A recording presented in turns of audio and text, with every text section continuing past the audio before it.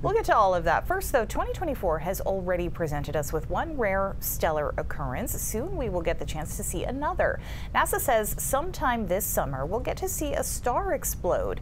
This is an animation made up by the space agency. A star system called T Coronae Borealis, or TCRB, explodes about every 80 years. The last one was in 1946. Astronomers believe the next one will happen before September. Two stars are orbiting each other there, a white dwarf and a red giant. The white dwarf is the one that explodes, ejecting material into the universe. Now, this system is too dim to see with the naked eye, but when the white dwarf goes off, it should appear about as bright as the North Star. To find it, you'll look between the constellations of Hercules and Boötes. There is a semicircular arc of stars called the Northern Crown. That's where the nova will appear.